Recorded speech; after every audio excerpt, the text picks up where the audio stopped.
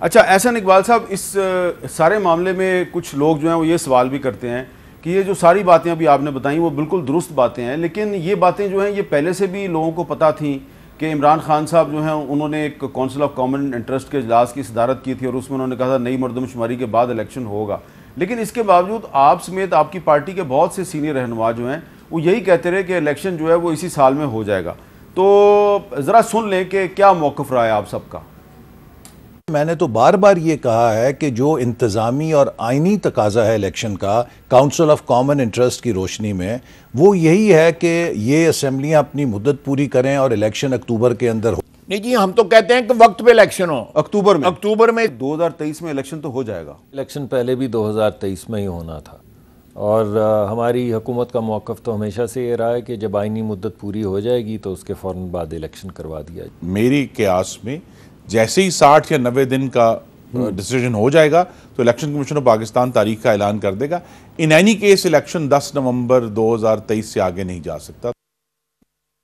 अच्छा एहसन साहब आप और ख्वाजा आसिफ साहब अक्टूबर की बात करते रहे माजी में एस और जो खुरम साहब हैं वो नवंबर की बात करते रहे तो अब आपके मौक़ में तब्दीली क्यों आई है?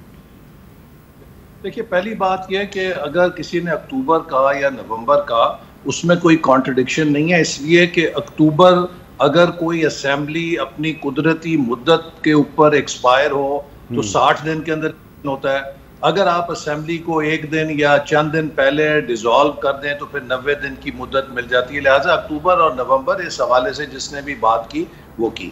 अच्छा अगर आपने मेरा क्लिप जो सुनाया उस पर गौर करें तो हम्म। मैंने भी उसमें यही बात उस वक्त की थी जब इमरान खान साहब ने पंजाब और केपी की असेंबलियों को तोड़ा था हम्म। तो मैंने कहा था कि इनकी हुकूमत का फैसला है जनवरी 2022 का काउंसिल ऑफ़ कॉमन इंटरेस्ट का और अभी शुएब साहब कह रहे थे जी इमरान खान के इतने अच्छे फैसले हैं तो बाकी भी मानने चाहिए ये काउंसिल ऑफ़ कॉमन इंटरेस्ट किसी शख्स का इदारा नहीं है ये एक आइनी इदारा है हम्म। भले उस वक्त वजी आज़म कोई भी हो लेकिन अगर काउंसिल ऑफ़ कॉमन इंटरेस्ट जो एक आईनी इदारा है वो फैसला करता है।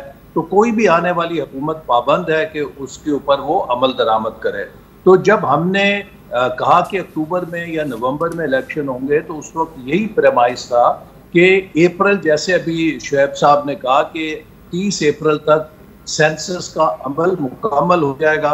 और अगर ये मुकम्मल हो जाता 30 अप्रैल तक तो मई जून जुलाई अगस्त चार महीने जो हल्का बंदी के लिए दरकार हैं अगस्त तक हल्का बंदी मुकम्मल हो जाती और फिर हम इलेक्शन अक्टूबर या नवंबर में करा सकते थे हम्म। लेकिन 2018 में ये फैसला हुआ कि नई मरदमशुमारी की जाएगी पीटीआई की हुकूमत 2018 से लेकर 2022 तक इस फैसले पर बैठी रही हम्म। अगर ये 2018 में 18 में नहीं तो 19 में 19 में नहीं 20 में 20 में नहीं 21 में मरदमशुमारी का अमल शुरू कर देते तो शायद हमें इस किस्म की सूरत हाल का सामना न करना पड़ता।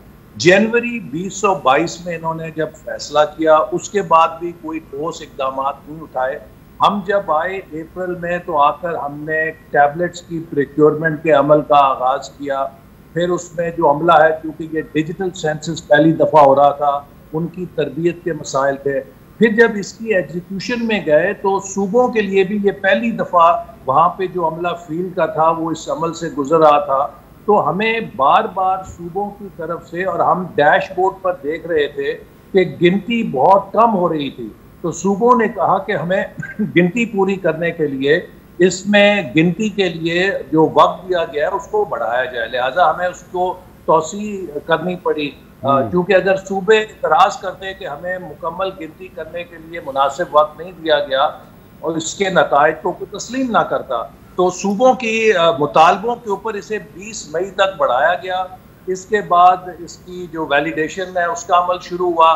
फिर ये मुतालबा आया कि जो पोस्ट इन्यूमरेशन ऑडिट है जो कि खुद सीसीआई के फैसले में शामिल था उसे भी किया जाए हम्म। ताकि अगर कहीं अंडर काउंट है या ओवर काउंट है उसका पता लगाया जा सके। तो ये पूरा अमल election Pakistan bureau of statistics ने मुकम्मल किया जुलाई के एंड में।